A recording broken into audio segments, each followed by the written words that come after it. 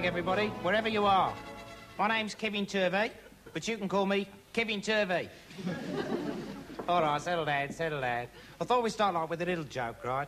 Because this week I've been investigating death. Death.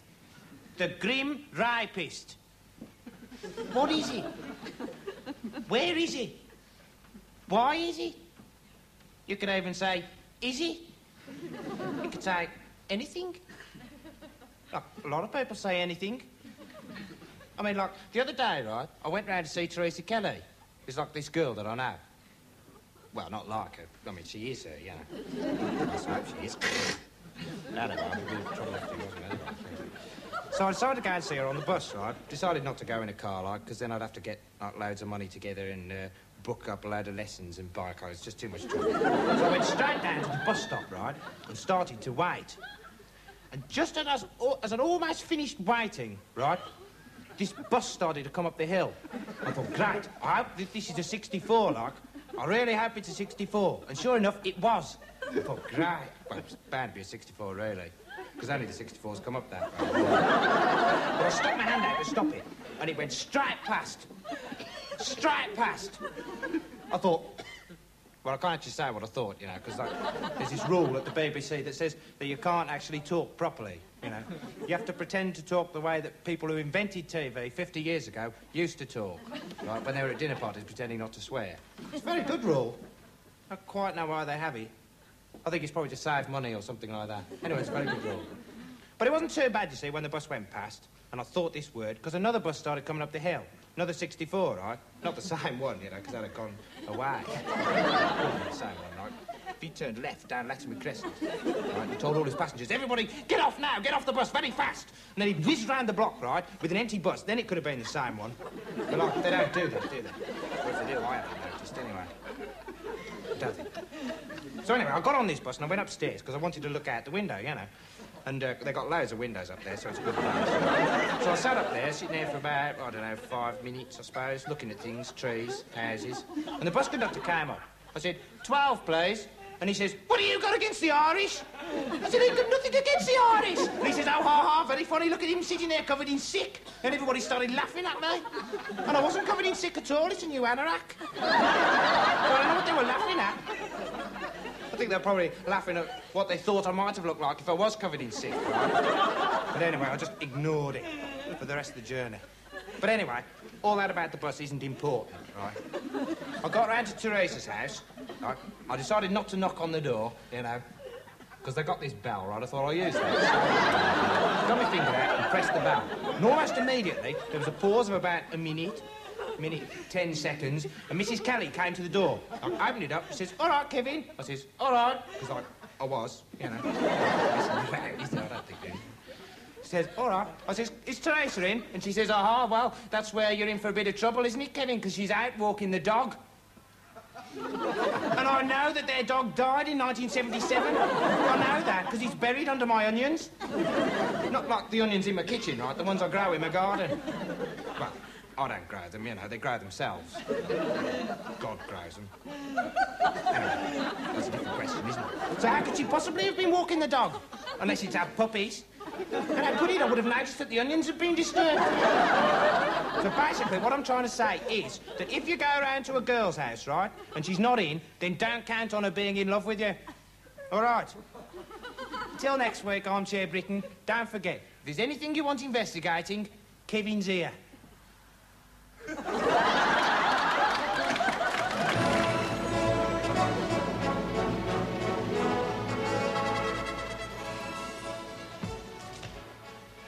evening, everybody. Kevin Turvey here. Kevin Turvey, the man who really investigates everything properly. Not like Keith Marshall. And anyway, Keith Marshall, if I don't investigate things properly, then how come I'm on the BBC and you're not? Think about that sometimes. And it wasn't me that nicked your bike anyway. Just a bloke asked me to move it, that's all. So I moved it round the corner. I didn't nick it. Anyway, good evening, everybody else. Before we start, I thought I'd better apologise for my sore throat. And yesterday I was investigating how many times you have to shout tumble dryer in the high street before somebody comes up and offers you a cigarette. it took ages and ages. In the end, I lost count anyway. Anyway, this week I decided I'd investigate tarmac. You know, like why it's black and things like that. so I got up like really early on the first day of my investigation and thought I'd have a really good breakfast. You know, cereal. So I went into the kitchen, right? Got out the cornflakes, put it on the table, went over to the fridge, like, because that's where I keep my milk, you know. Opened up the door, and guess what? There was no milk. Thought, that's all right. I'll go to Tesco's and get some milk, like, because they got loads down there, you know. No, they have. I've been there. I've seen it. racks and racks of it. Anyway, I went down there. Went in, like, through the door, you know, because, like, they got two doors there, you know. There's one that says in, and there's one that says out. And I went in the one that says in. went in there, and that's when this really strange thing happened. Because I saw this woman in there. Well, well, it's not odd in Tesco, is it? but this one was. I thought, crikey, that's Noele Gordon. Can't be Noele Gordon, not in Tesco's, right? So I crept up behind her and tapped her on the shoulder. And she turned round. Do you know what? I was right. It wasn't. so I got the milk, like, and I took it home and poured it on my cornflakes, like, well, not all of it. Just a bit, like, you know. Put the top back on and put it back in the fridge, like, on its own. Well, not absolutely on its own. There's a bit of cheese in there. Some ice, know. But that's not important, anyway. Sat down to start my cornflakes, and I, I didn't know whether I wanted to listen to the radio or not. So I put on Radio 1, you know. I started eating my cornflakes. I just had a few cornflakes, about 15 or 16 cornflakes. I wasn't counting, you know. Well, you don't, do you? I don't, anyway. I'd be stupid if I did. Well, I just had a few cornflakes, and there was this knock at the door. I thought, ah, that's someone at the door, right? So I got up, I went round the table and down to the end of the hall, where I keep my front door. And you know them little uh, holes, like, that you can look through and see everybody all big outside, you know? Well, I haven't got one of them. So I opened the door, like, and it was the postman with a telegram. He says, Kevin Turvey, I've got a telegram for you. I said, oh, great. He says, I hope all your family's died in a really painful car accident. I said, why? What have I ever done to you? And he smashed me in the face. So I got up, like, really quickly, grabbed the telegram and slammed the door on. Opened it up, not the door, like, you know, the telegram. Stupid if I opened up the door again. and I read it, and it said, Kevin Turvey, do not investigate tarmac. Investigate work. Love the BBC. So that was a lucky break, wasn't it? Could have spent the whole week investigating the wrong thing. Till next week, Armchair Britain, don't forget, if there's anything you want investigating, Kevin's here.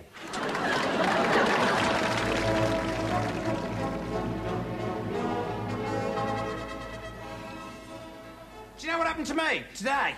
I was standing outside Tesco's, right, like looking after a dog for a mate, you know, just minding my own business, and this bloke came up and tried to put ten pence in the top of my head. I said, what do you think you're doing? He says, you're not blind. He says, people like you make me sick. And he walked off over the car park. And I watched him all the time and he wasn't sick. He was a liar. Anyway, this week I've been investigating the media. It hasn't been much of an investigation. Only took me about four hours to look it up in the dictionary, that's all. Because it's quite near the back, you know, it's quite a long book, you know. And, and it's, all it means is like television and newspapers, that's all. So I didn't have anything to do for the rest of the week. I just didn't do anything. Well, did a few things like, you know, walking about and going to into shops and out of shops again. Basically, I didn't do anything. Then on Thursday, this really strange thing happened. Stranger than truth. Except that it was true. Strange. Anyway, I was watching Top of the Pops, right?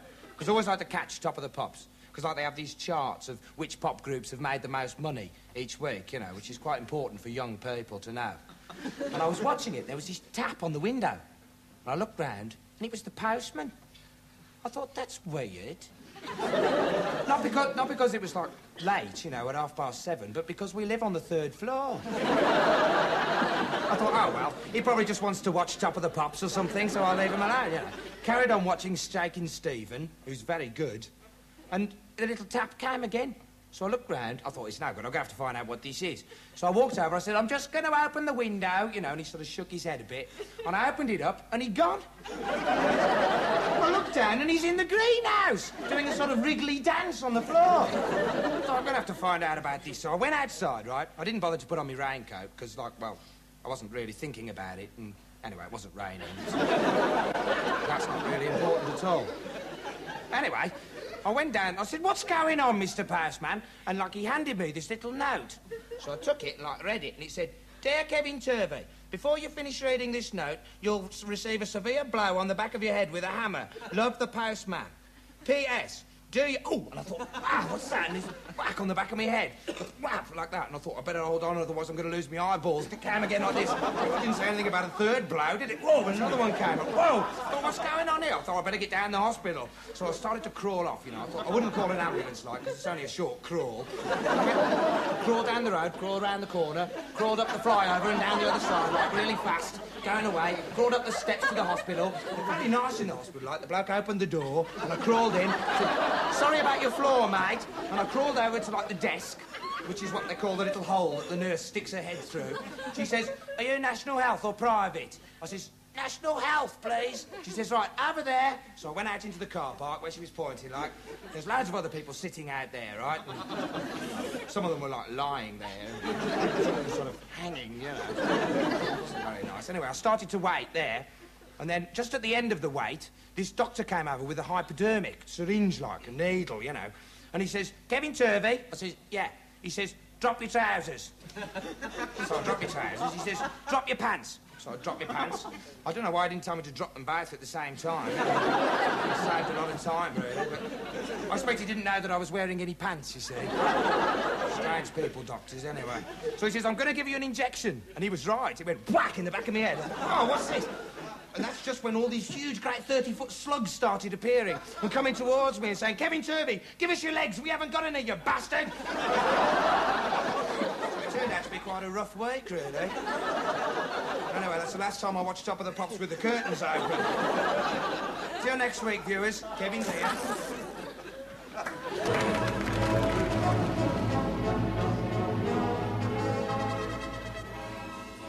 Good evening. Where's the cameras? What? Well, you might have told me to change the whole studio around. You know I'm in a hurry. And the same to you with bogies wrapped round it. Uh, listen, good evening. My name's Kevin Turvey, and, uh, and I'm an investigative reporter and all that. But uh, and this week I've been investigating advice, right? Which is like another word for uh, for help. Well, it's not really, not if you're drowning anyway. I mean, you don't swim there going, advice, advice! I mean, they just say, swim, you planny! Eh? And then you drown, don't you? So it's no good. Well, unless you want to drown anyway. But that's not important. The thing is, I haven't got time for my report, right? Because I just met this bloke outside in the bushes, right? I was just doing some investigating into leaves, you know, how come they grow on trees and what they taste like when you smoke them and things like that. Anyway, and he says, are you Richard Baker? I says, no, I'm Kevin Turvey. Which is like true, you know. And he says, listen, can you give this... And he gave me this, guy. He gave me this clock. He says, can you give this to Ian Trethowan? Yeah, Ian Trethowan, who's like the leader of the BBC. And he says, uh, because he's got to have it any minute now. I don't know why. I think it's the play school clock or something like that. I said, can't you give it to him? He says, no, I can't. I've got a headache, you see. So I said, well, look, I've got to do a report in a minute. He said, it's more important than that. Give it to him now. You've got two and a half minutes, and now I've only got a minute. So listen, I'll tell you a story, right? Um, once upon a time, there's this uh, fish, right, who uh, lives in the bushes by the BBC, and uh, he meets this um, prince who's called Kevin. And uh, I've just been handed this note. Right, and they, he marries the prince, and, uh, and they have lots of babies, and things packed in now. Work! Work, you bogey gobbler! Come on! I'm going to have to go to a watchmender's. Uh, so I'll, I'll leave you with this little joke, right? Uh, what do you say to a man who's got no arms and no legs if your watch is broken? Have you got the time on your cock?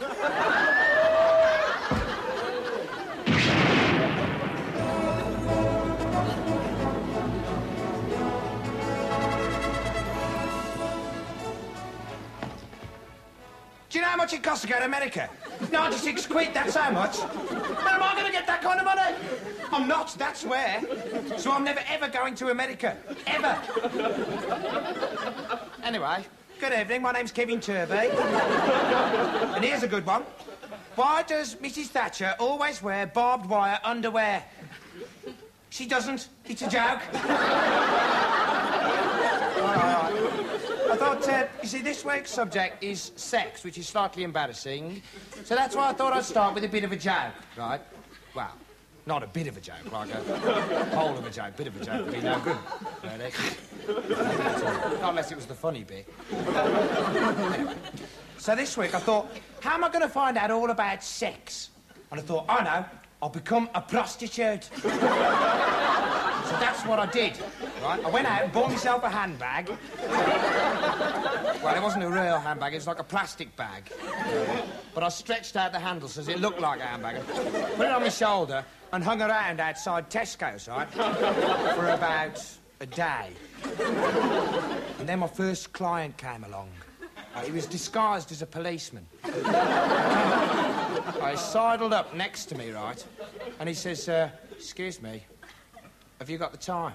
Which is like prostitute's code. and I said, uh, about 16 quid. and he said, "You're trying to be funny? And I said, all right then, 10 quid. and that's when he started punching me, right? It was about about the seventh or the eighth punch, I think. Might have been the ninth. Anyway, it was about then I thought, he doesn't realise I'm a prostitute. So I started to run, right? I ran straight into Tesco's and tripped over this big bas basket they've got in there. And I thought, brilliant. Of course, a basket. That's what I should do. I'll invite Teresa Kelly over to supper and have sex with her afterwards. really, because I've got all the things at home. I've got sausages and uh, potatoes, gravy, furniture. loads, I've got loads of things at home. I mean, windows and all sorts of things. But it was just the food that I was thinking about at the time, right?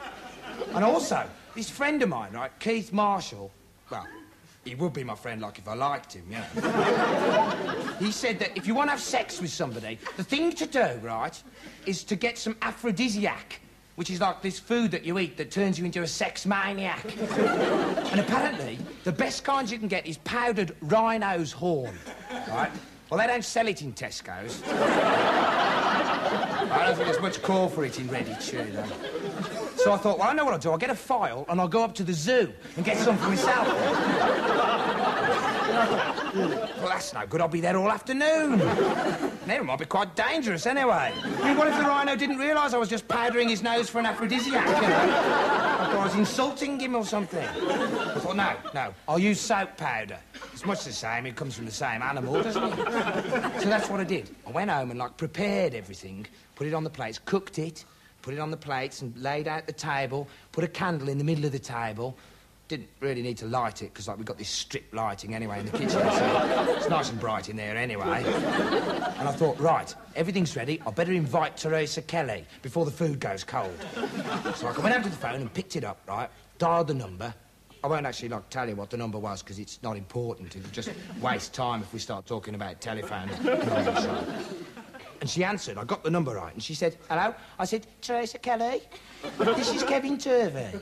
Would you like to come over and have supper with me? We're, what we're having is potatoes and gravy and sausages with nothing on it at all. and then have sex with me afterwards.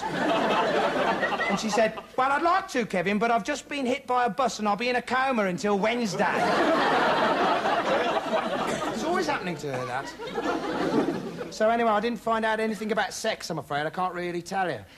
But I did find out that eating aphrodisiacs makes you violently sick. so anyway, until next week, viewers, don't forget, if there's anything you want investigating, Kevin's here.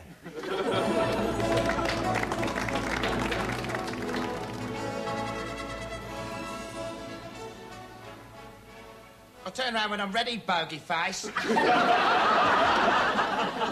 Good evening, I suppose. I thought I was supposed to have this week off. They said to me at the beginning of the week, this week, Kevin, it's relaxation and taking it easy.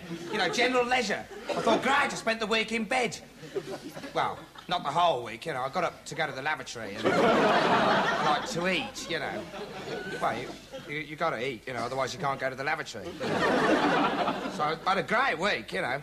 And I woke up this morning about 11 o'clock you know, because I've got this alarm clock, right? It's a, gra it's great alarm clock. It's great, because if you set it right, the little buzzer goes off, right? And then you stretch your arm up to turn it off and it pours boiling water all over your arm. it's very refreshing, it's great. It works every time. So I was sitting up in bed, like changing the bandages on my arm this morning, and there was this hammering at the door. Like I thought, hello, someone's in a hurry. So I got out of bed, went to the lavatory, cleaned my teeth and combed my hair, went and answered the door. And it was the black that runs this programme. He says, oh, there you are, Kevin. I says, where do you expect me to be? I live here. he says, where have you been all week? I says, I've been taking it easy in bed, like you said. He said, you're not supposed to take it easy. You're supposed to investigate taking it easy. I said, well, thanks very much for telling me. he said, listen, Turvey. I said, what do you think I'm doing, riding a bicycle? Which was quite clever, because, like, I wasn't doing it, know. he says, listen, Turvey, you go outside and investigate leisure right now. I said, what, in my pyjamas? And he'd already gone down the road, so I ran outside and said, what, in my pyjamas? One of my neighbours said, I don't know, what's in your pyjamas? I said, shut up! All I worked up, you know. I went inside, and I thought, this is just impossible. I can't work and take leisure at the same time. I can't investigate taking it easy, not unless I'm really relaxed when, when I'm investigating. So I thought, well, maybe that's a good idea. So I thought, I'll go out and get drunk. That's what I'll do. So I went down to the pub, like, and got thrown out straight away. Apparently, they don't serve people in pyjamas. So I went round, like, to this other pub, which was more liberal, right? I sat there for about an hour, two hours, you know, sitting down, taking it easy, waiting to get served. Eventually, I thought, this is no good. I'll have to just ask for a drink or something, you know. I was getting worked up again. So I went, like, over to the bar. I didn't have time to hang about. I said, give us a pint of Pernod now. he gave me. I, I drunk it straight down, got up off the floor, and went outside. Getting a bit woozy, I thought, I better start investigating pretty quick. What shall I investigate first? I know, I'll investigate going to sleep in the park. I went down there, kind of ziggy-zaggy, went down there, and went and lay down in the long grass, you know. Like, not, not by the swings, because that was making me a bit dizzy when I looked. I lay down, put a newspaper over my face, and lay down and went to sleep in the long grass. And that's when I had this really terrible dream. I dreamt that I was flying upside down over Turkey, drinking Pernod, and all the people were pointing at me and saying, Give us a banana, you bastard! I woke up with stabbing pain in the front of my head. And I thought, I'm only drinking Pernod in halves from now on. Pain started moving around in my head. And, and, and I opened my eyes and pulled the newspaper back, and there was this spike sticking out of my head with this park keeper on the end of it. And he says, What are you doing going to sleep underneath the litter, you vagrant? I said, I'm not a vagrant, I'm an investigative reporter. He says, If you're an investigative reporter, how come you're covered in sick? And that was someone who'd come up and been sick all over me while I was asleep.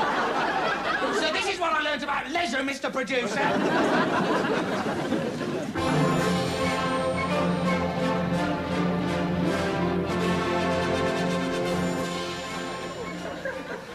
Evening, Britain. Tonight, I'd like to talk about shark fishing. But I don't know the first thing about it. So I'm going to have to talk about something else, I think. And anyway, the BBC have asked me to talk about sex again. So, sex, that's my topic for this week. And as you can see, uh, Kevin Turvey. yeah, but apart from that, what you can see as well is that I've been doing a lot of research into this problem. I've been uh, to the swimming pool. I've been to the dirty bookshop. I've been to the Undertakers. That was a bit of a miscalculation, really. well, the Undertakers is like next door to the dirty bookshop, you know. And I wasn't concentrating very hard at the time. No, but they were very helpful in there. You know, I went in, I said, Good afternoon, my name's Kevin Turvey, and I'm mainly interested in sex.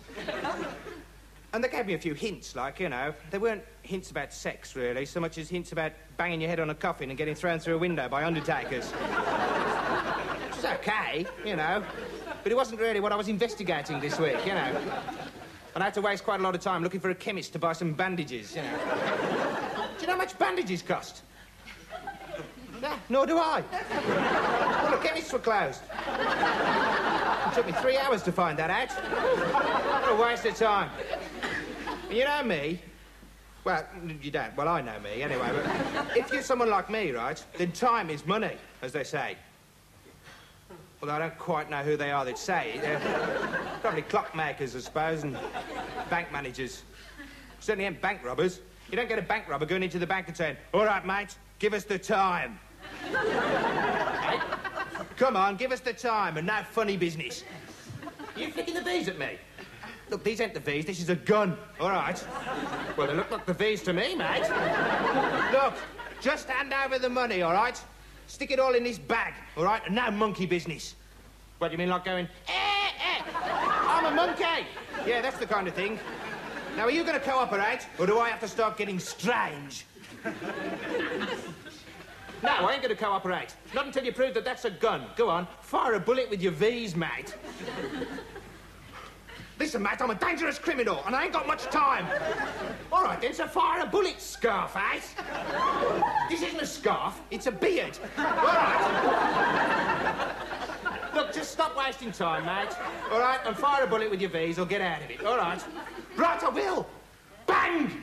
What do you think about that, mate? What do I think about what? What do I think about you going bang while your fingers is waggling? I think it's pathetic. That's what I think about it, basically. Get yourself a real gun. All right, then I will. Martin, give us a gun, will you? Right, mate, what do you think about that? Stick 'em up. All of them. Blimey, okay, mate. Wait a minute. No, you stick 'em up. no, I said it first. You stick 'em up, you twat. No, you stick 'em up. I got a gun, mate. Listen, I... Well, I think you get the basic point, anyway. Thank you, Martin.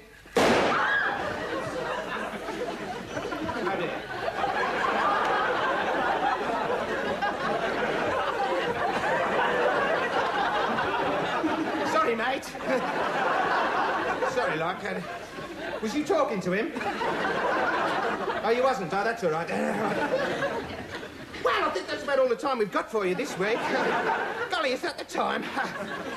so, uh, I'm afraid I'm going to have to leave you there, you know. I mean, all great things have to come to an end, don't they? I mean, look at the M6, you know. well, I mean, don't look at it now, you know, but when you're up there, have a look at it, because it's a great road. Uh, uh, and, uh, you know, it's at times like this I'll always remember what Teresa Kelly once said to me. She said, why don't you sod off, Kevin Turvey? and, you know, I think I know what she meant. So until next week, this is Kevin Turvey saying, do up your trousers, keep your shoes clean, and don't tell anyone you saw this programme, all right?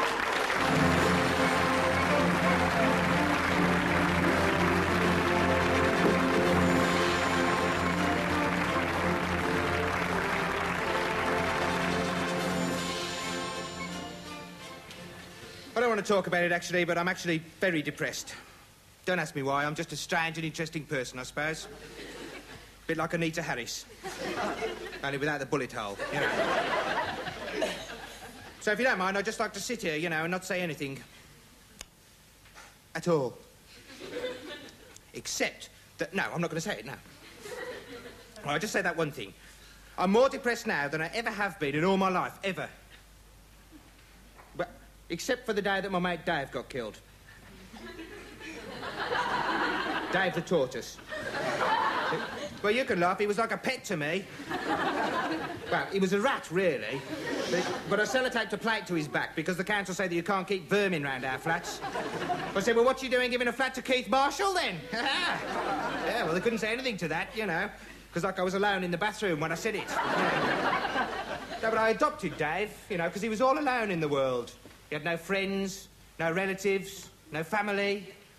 Basically, because, like, he'd eaten them all. You know. but we lived together for three years. Yeah, I mean, separate bedrooms and everything, you know. Until one day there was a knock at the door, and so I answered it like, and uh, it was the milkman. And I paid him, and uh, he went away, and I closed the door again and came back inside, and I mean, that's got nothing to do with the story, right? But, no, I just wanted to make it clear that I'm the kind of person who pays his debts. So if you see that vulture from the corner shop, tell him that it's all right. I'm going to pay up. It's all right. Well, he's not really a vulture, you know. He's... Well, he comes from Leeds. We just call him a vulture. Well, he's got a beak and two wings, and he hangs around on buffaloes, you know. Anyway, as luck would have it, bad luck mainly, one day, Dave got killed by a laundrette. yes, by a laundrette. But you see, I used to keep him in the drawer in the kitchen where I keep all my dirty socks, right? Yeah, well, he liked the atmosphere in there, you know. well, he was in there one day having a bit of a sniff, you know, when it happened. Well, about 20 minutes before it happened, actually, because, well, it takes me 20 minutes to walk down the laundrette with a bag of washing, you know. And anyway, to cut a long story short, the end. no, that's cutting it a bit too short, I think. to cut a very short story a little bit longer, uh, you know how when you're an animal and you accidentally get put in a washing machine with a load of dirty washing, and the washing machine fills up with water so you can't breathe, and you want to breathe, then you drown. Any chemist will tell you, you know. Well, that's what happened to Dave. Because, like, the cycle lasted half an hour.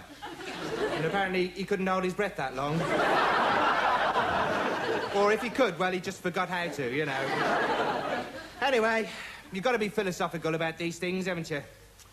That's why I've decided to kill myself. so this is it. Goodbye, Britain.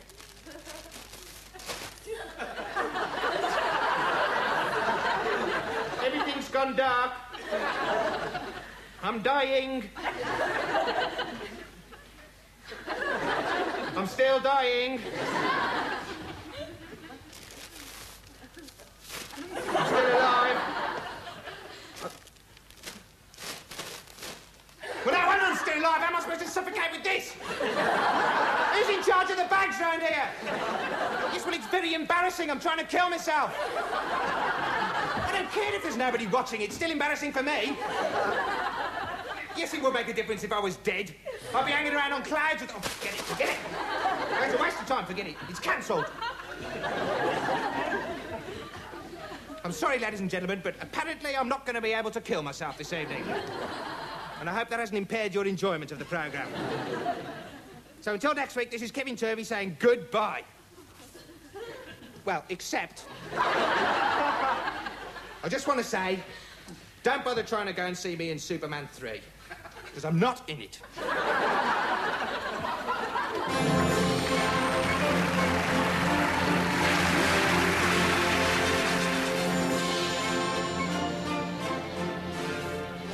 Guess what happened to me today? You never will. Not in a million years.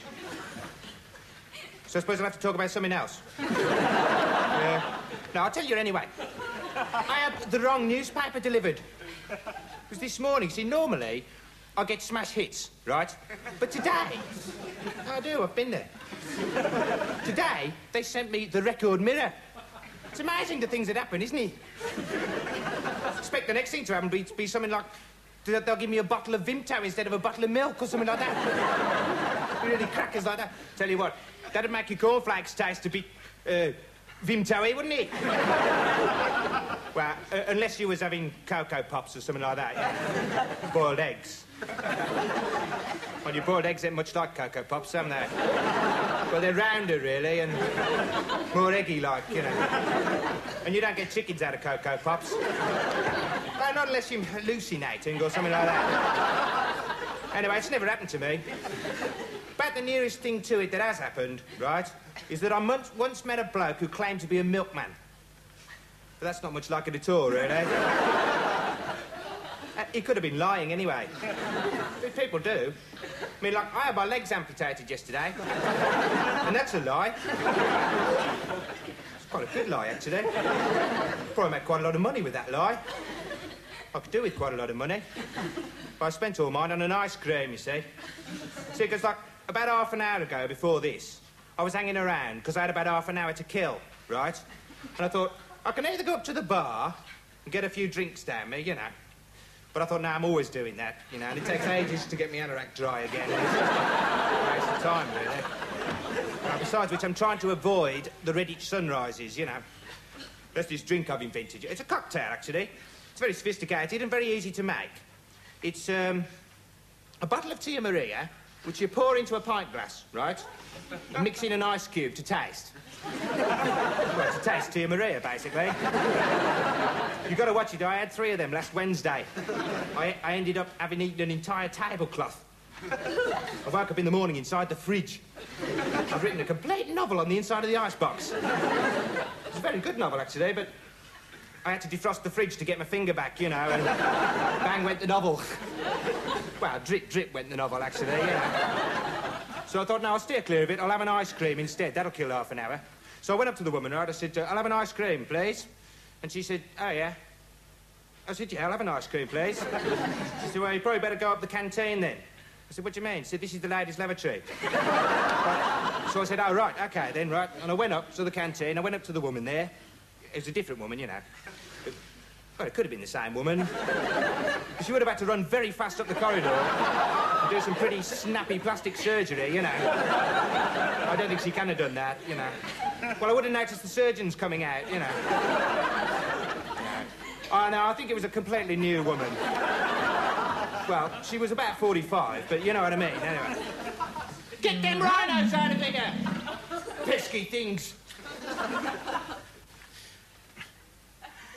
I can't remember what I was saying now.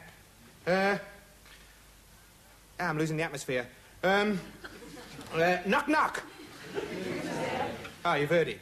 Uh, well, anyway, this week I've been investigating them nasty little sticky things that you stick things to walls with, right? And what I've discovered is, if you eat a whole packet of them, it sticks your teeth together for four days.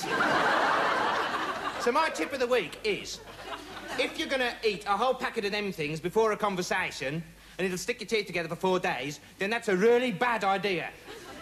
All right, so until next week, this is Kevin Turvey, you know, just sitting here in this chair. Good night.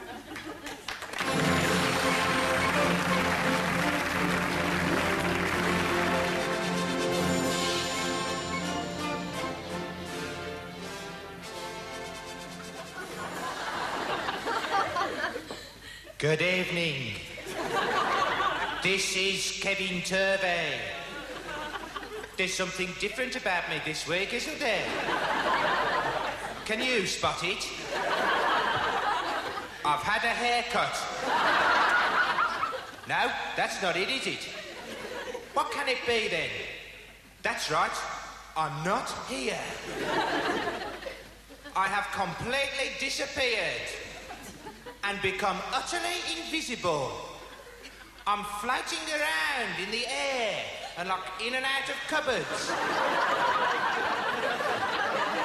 but I'm now visible again. Uh, uh, and I'm not floating around anymore. Good, I was getting a bit airsick anyway.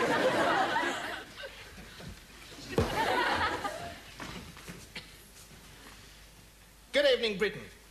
Was an investigation into the nature of the supernatural. and as you probably spotted, it was completely great. My name is Kevin Turvey. Why? Well, I don't know. It's not my fault. Somebody gave it to me. I wasn't consulted. I think they might have asked me, don't you? I mean, I'm the one who's got to go around the rest of his life being called Kevin Turvey by people. Makes you sick. Makes me sick anyway. I tell you what makes me really sick, though. Drinking a pint of salt water and jamming my fingers down the throat. Yeah. That makes me really sick, that does. So, like, wherever possible, I try to avoid doing that, you know. Well, especially on the television. Because, like, it gets down the back and makes the picture go all wiggly, you know. And all the programmes start to stink. Even fame. And then you get this horrible stinging pain in the back of your head. And you go, ow, stop hitting me, Mum. And she says, what's all this sick? You say, well, it's mainly vegetables. But there's some cornflakes in there, I think, and a cup of tea and things like that, you know. Anyway, it's a whole, it's a horrible business. I just try to avoid it whenever possible, being sick, you know. Especially in the fridge. well, because things last longer in the fridge, don't they? Because, like, we've got this fridge at home, you know. Well, we mainly use it for keeping things in that we want to keep cold, you know. well, it ain't much good for anything else, really. I mean, you, you can't get Radio 1 on it. well, not unless you put the radio inside it first. You know. I tried that the other day, actually. But I just opened the fridge door, right?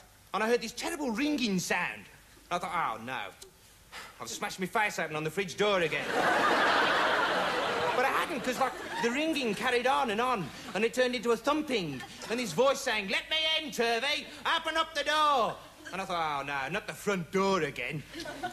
And I was right, because, like, it was the back door, yeah. so I changed what I was thinking a bit, and I thought, oh, no, not the back door again. So I got up, right, went out into the hall, because, well, you've got to get out into the hall to get to the back door, you see. Well, now, the only alternative is, like, smashing down the wall next to the cooker. I'm not going to get involved in all that again, right? Anyway, I got to the back door, right, opened it up and everything. That was easy, really. Well, I've done it loads of times before, you know. Just got to twist the handle a bit and open up the door, you know. Piece of piss, really. Well, it's made out of wood, you know, but... You know what I mean, really. Anyway, I got outside, and guess what? There was absolutely nobody there. Well, except me and uh, some paving stones and a fly or two. But there was nobody else. And I thought, hello?